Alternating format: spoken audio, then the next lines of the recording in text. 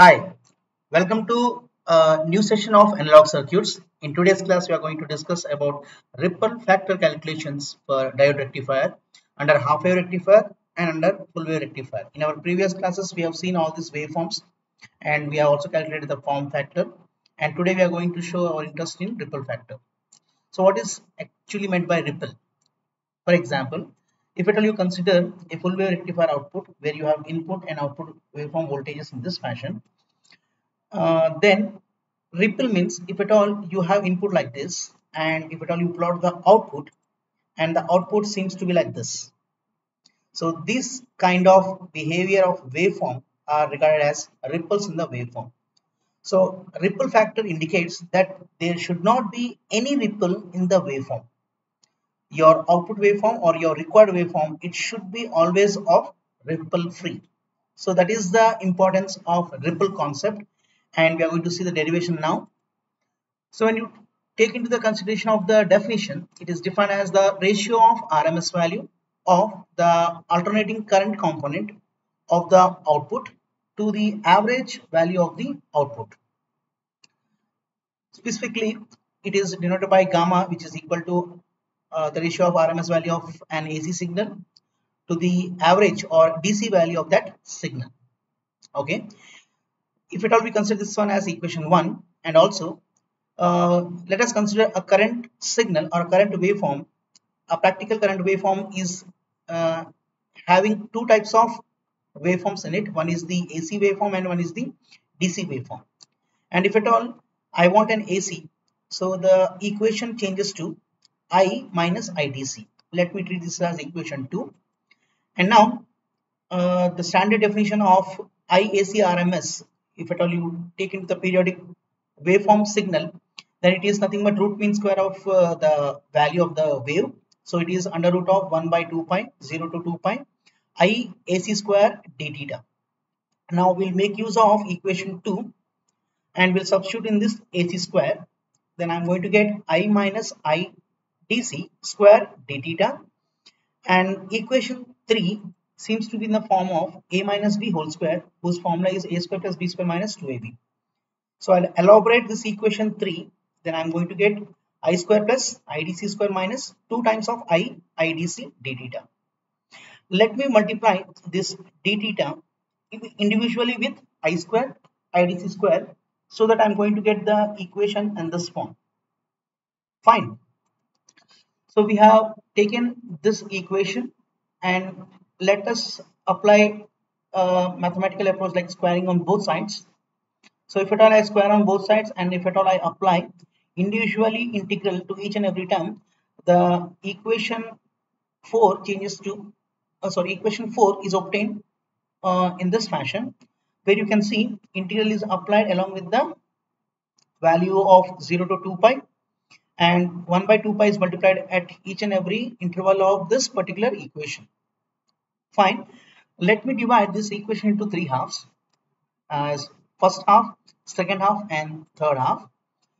I'll individually solve uh, this half 1, half 2 and half 3 and I'll substitute this I uh, Roman I, Roman uh, double I and Roman triple I and I'll substitute in equation 4. So first I'll consider the conditions of I. Uh, please make a note of this that uh, IDC is equal to that is a DC component of any signal is given by 1 by T 0 to T IDT. This is the notation you should remember in your mind before solving any particular uh, concept of uh, signal. Just keep in your mind that IDC constant value can be obtained as 1 by T integral 0 to T of I d theta. Okay. First I'll consider this first half that is IRMS square whose actual formula is nothing but 1 by pi sorry 1 by 2 pi integral 0 to 2 pi i square d theta. This itself value is, is nothing but IRMS square value. So first half is solved like this.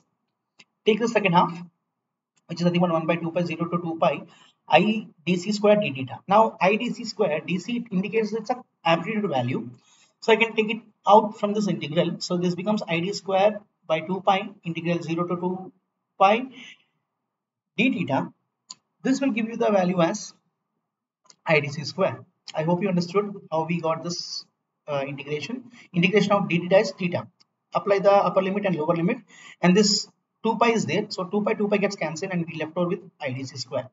So the second half is, can be replaced by IDC square like this. Now for the third half, I am taking this third half 1 by 2 pi 0 to 2 pi 2 i IDC d theta. Okay. Now what I'm going to do, I'll take the value of this IDC outside. So it becomes 2 IDC by 2 pi. Fine. Integral 0 to 2 pi i d theta.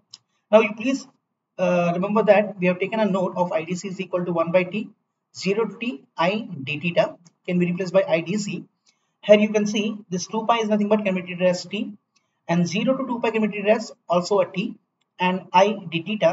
So i can replace this integral with the denominator 2 pi value as idc already i have 2 idc over here. So it becomes what? 2 idc square. Clear?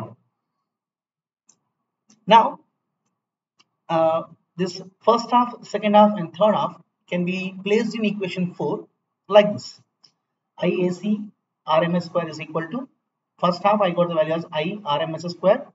From second half I got IDC square. From third half I got this minus sign is from equation 4 minus 2 IDC square.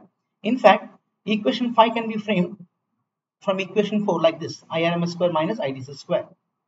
Okay. Now what you do, uh, take the gamma concept that is the ripple factor concept and from equation 5 we got the value of IAC RMS is equal to under root of IRMS square minus IDC square. And I'll apply this gamma formula that is IAC by IDC RMS value.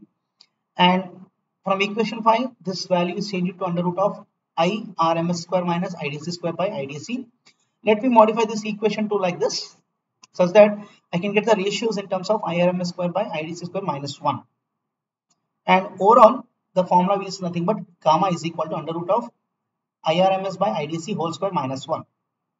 Fine. Now, for a half wave rectifier, this is how the output looks like. So, you should know what is the average value, that is the DC value and RMS value. So, remember we have derived for 0 to t less than 2 pi, the value of average is 0.637 times of the maximum value of the wave and now for 0 to pi, same average value is obtained to be 0.3185 times Im for this particular wave. Okay. Now RMS value is nothing but 0.5 Im. This is for half wave rectifier. You can look into our previous videos for the derivations of uh, RMS value and average value for half wave rectifier as well as for full wave rectifier. Anyhow, our interest is to calculate the ripple factor. So ripple factor is given by this formula and I'm substituting the values of RMS and average value and this gives us the value as 1.21. Now the ripple factor of a half wave rectifier is obtained to be 1.21. So this is the value of ripple factor for half wave rectifier. Okay. Now if you consider full wave rectifier, this is the output of full wave rectifier. You should also know that for 0 to t less than pi, that is from first interval itself, you can calculate the average value which is nothing but 0.637 im and for RMS value it is nothing but Im by root 2 so it becomes 0.707 Im and if you to calculate the ripple factor this is standard formula. I'm going to get the value as 0.482 now initially what I told you our waveform should be of ripple free. So when you go for full wave rectifier the ripple factor is 0.482 and ripple factor for half wave rectifier is 1.21 so which rectifier you will choose for your practical application in fact, diode rectifier I can choose for my practical application because it has less ripple compared to half wave rectifier. So that's the conclusion of this class. Half wave rectifier and full wave rectifier, these are the outputs and the ripple factor if at all you calculate. The full wave rectifier ripple factor is 0.482 which is comparably very less compared to the half wave rectifier ripple factor. So I hope you like this class. Please share among your friends and subscribe to this channel for uh, future notifications, you have to press the bell icon. Thank you.